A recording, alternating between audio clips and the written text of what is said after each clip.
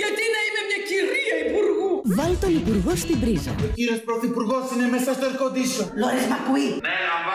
Η πιο παρανοϊκή κομμωδία των ρέπα Παπαθανασίου. Άσε μου καίει και πολύ ρεύμα αυτό το μηχάνημα. Μα νυχτερινό δεν έχετε.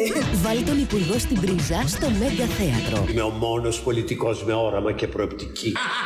Επίσημη πρώτη Κυριακή 18 Ιανουαρίου στις 9 και 4.